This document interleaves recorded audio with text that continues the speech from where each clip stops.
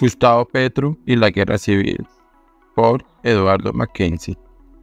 Gustavo Petro está decidido a desatar la guerra civil en Colombia para mantenerse en el poder. Lo que él escribió este 2 y 3 de febrero en X, los textos más desenfrenados y desafiantes de todos los que han publicado desde que llegó a la casa de Nariño, deja planear ese horrible fantasma hasta el punto de que el presidente del Congreso, Iván Name Vázquez, el vicepresidente de la Cámara de Representantes, Juan Espinal, el Consejo Gremial Nacional y el general Eduardo Zapatero, y miles de ciudadanos expresaron inmediatamente su asombro y su inconformidad ante la conducta aventurera del mandatario. Petro clava que hay en curso una ruptura institucional y que él debe como presidente de la República avisar al mundo entero que hay una toma mafiosa de la Fiscalía. Tras esas mentiras monstruosas, él llegó a exigir la máxima movilización popular por la esencia. Entendamos, Petro, el gran magnitud de la esencia, combate a los otros, quienes deben ser aplastados hasta con ayuda foránea. El iracundo jefe de Estado llegó a pedir que delegaciones internacionales y organizaciones extranjeras entren en acción para protegerlo. Él mismo despachó su colérico mensaje en cinco idiomas, incluido el árabe. ¿Está esperando que jamás le envíe milicias para que masacren a los colombianos inconformes? Según el general Zapatero, esas palabras son un irrespeto a los colombianos y una incitación al desorden. Iván Name sostuvo que las gesticulaciones de Petro llevan a la confrontación civil lo que quiere decir guerra civil en términos menos explícitos. Numerosas personalidades advierten, Petro es el único responsable si el país se sale del orden. Tal certeza lejos incluye personas que votaron por Petro en 2022. Algunos petristas convencidos están callados o lo han respaldado de manera inaudible. Un consejo de método. Al analizar este nuevo episodio de la crisis del gobierno deberíamos evitar recurrir a los conceptos y al vocabulario que Petro arroja como huesos. La tal ruptura institucional no es el debate. Lo que él dice sobre la fiscalía, el fiscal Francisco Argosa y la procuradora Margarita Cabello no es el debate. Ellos no investigan al hombre sino sus hechos. Lo de la esencia de Petro no es el debate, lo del golpe blando, que él sacó del cubilete en octubre de 2022 no es el debate.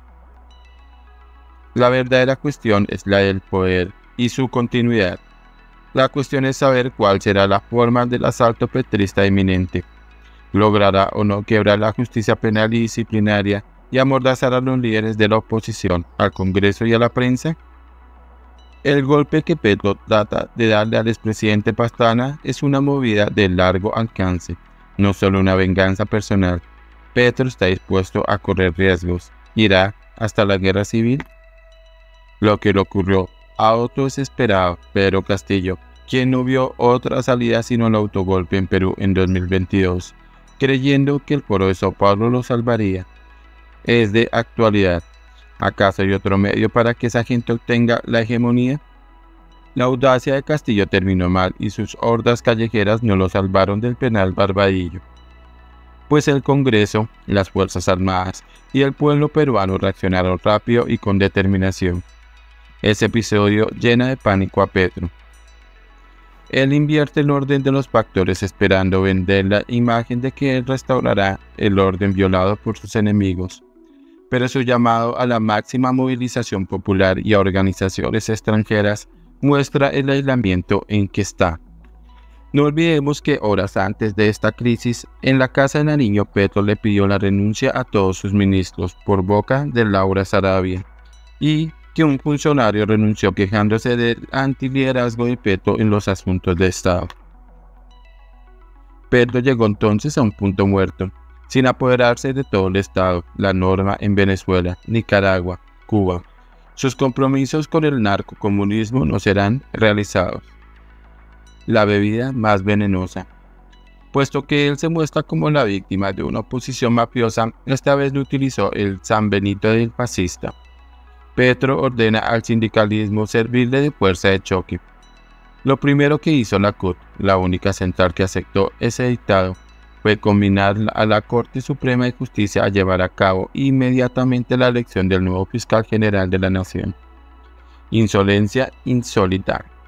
¿Los magistrados quebrarán la rodilla? La premura de Petro y del PCC es evidente. Tener un fiscal de bolsillo que desaparezca los expedientes candentes que arrastran Gustavo Petro y su hijo. Destruir la independencia del Poder Judicial y convertir la Fiscalía la Procuraduría y la Corte Suprema de Justicia en los vagones de cola del Poder Ejecutivo. Pero ese trago es tóxico. El CGN enfatizó que la independencia en las ramas del poder público son los principales mecanismos definidos por nuestra sociedad para tramitar las diferencias que existan en democracia, incluyendo la solución a reclamos jurídicos y la exigencia en la protección y garantía de los derechos de todos los ciudadanos especialmente si se trata de líderes políticos y autoridades. Conclusión. Petro fracasó como presidente, pues no descifró el funcionamiento de la sociedad ni el del Estado colombiano. Su visión del mundo no ha cambiado desde que era un siniestro operador del M-19 y sigue estando basada en el criterio de la arbitrariedad y la violencia extrema como métodos para alcanzar objetivos. Creyó que, al llegar a la presidencia, podría someter a los otros poderes, a la prensa y a la oposición extraparlamentaria. Se equivocó. Las instituciones funcionan, aunque con defectos, pero no con poco coraje, y estas son las que han frenado y hasta deshecho los planes hegemonistas. Hasta hoy los organismos de control y la rama judicial son los que están jugando el mayor papel en la contención del narcocomunismo no es la fuerza pública, víctima de una crisis en dirección provocada por Petro mismo, ni la oposición parlamentaria, los que han hecho ese trabajo. Una parte del mundo político está en la llamada oposición constructiva y en la rutina de los comentarios ante los desastres que crea Petro todos los días. Esa oposición cree que lo de Petro son reformas y no demoliciones y no apoya las iniciativas de la sociedad como las protestas, marchas y manifestaciones, aunque algunos de sus voceros participan, ni las demandas ante la Comisión de Acusaciones de la Cámara de Representantes, y sigue silenciosa ante el hostigamiento que sufre el expresidente Pastrana. Tampoco toma acciones en defensa efectiva de la prensa perseguida por el poder y de las redes sociales que luchan contra los ataques y la desinformación de las bodegas petristas impulsoras del estallido social. Esas almas tibias deben despertar. Constatar amargamente que el jefe de Estado no es el jefe de todo el Estado fue la divina sorpresa del Petro y que en Colombia los tres poderes existen y gozan del respaldo de los ciudadanos y hacen su trabajo. Con tropiezos o no, para que las libertades no sean avallazadas por una minoría subversiva que ya anunció que no devolverá el poder en 2026.